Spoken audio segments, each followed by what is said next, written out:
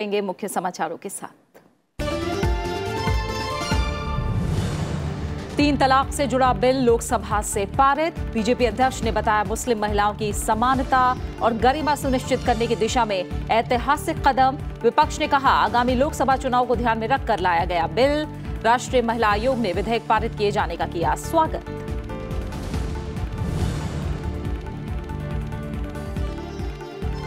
राज्यसभा सभापति एम वेंकैया नायडू का हिंदी को बढ़ावा देने के लिए सभी स्तर पर प्रयास किए जाने पर ज़ोर।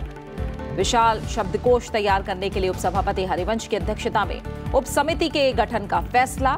क्षेत्रीय भाषाओं को भी बढ़ावा देने की बताई ज़रूरत।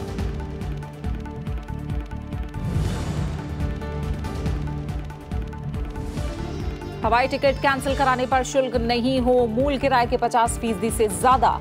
संसदीय समिति ने की फ्यूल सरचार्ज वापस करने की भी सिफारिश। पड़ताल में इंडिगो की यात्री सेवाओं को पाया सबसे खराब। लगेज पॉलिसी में एयर इंडिया सबसे बेहतर।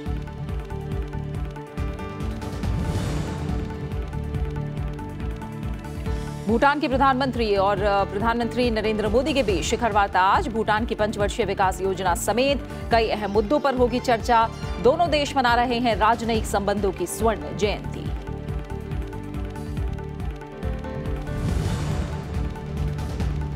खालिस्तान लिबरेशन फोर्स प्रतिबंधित संगठन घोषित। देश में बम विस्फोट करने, निर्दोष लोगों की हत्या और आतंकी गतिविधियों में शामिल रहने के लिए सरकार ने लगाया प्रतिबंध।